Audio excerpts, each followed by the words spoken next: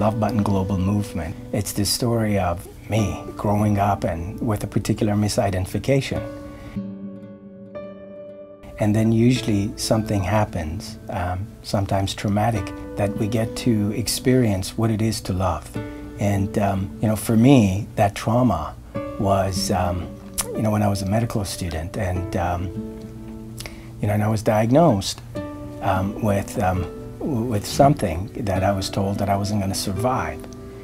And it really pushed me in a corner on the edge where I had to reevaluate everything.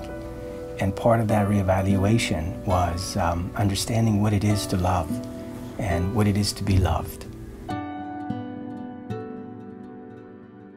The day that I was rolled into surgery, um, I was nervous, my mouth was dried up, and um, it was uh, February 10th, 1997. I, I, wrote down God is love, and that was the message that really shifted and changed things for me. Eventually, then that became a little sticker, and it turned into um, a button, and that's really the ontology of Love Button Global Movement. It came out of a crucible of my own, uh, my own trauma and my own uh, healing.